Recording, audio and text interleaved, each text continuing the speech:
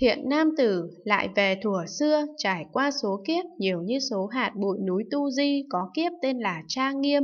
thế giới tên là Nguyệt Tràng, Đức Phật hiệu là Diệu Nhãn, ở chỗ Đức Phật đó ta đắc được pháp môn này. Thiện nam tử, ta nơi pháp môn này hoặc vào hoặc ra tu tập tăng trưởng thường thấy chư Phật chưa từng xả lìa, xưa từ lúc ban đầu đắc được cho đến hiển kiếp, trong thời gian đó ta gặp được các đức như lai ứng tránh đẳng giác, nhiều như số hạt bụi bất khả thuyết bất khả thuyết cõi Phật, thảy đều hầu hạ, cung kính cúng dường, cũng thấy các đức Phật đó đến tòa Bồ Đề hiện đại thần lực, cũng thấy tất cả công đức căn lành của hết thảy các đức Phật đó.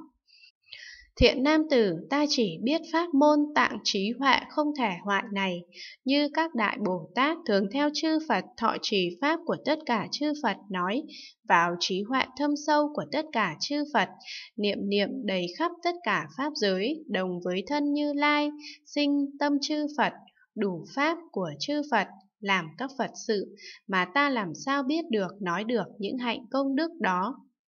Thiện nam tử, trong thành Ca Tỷ La, nước Ma Kiệt đà cõi Diêm Phù đà này, có chủ dạ thần tên là Bà San Bà Diễn đà. Ngươi hãy đi đến đó hỏi Bồ Tát làm thế nào học Bồ Tát hạnh, tu Bồ Tát đạo.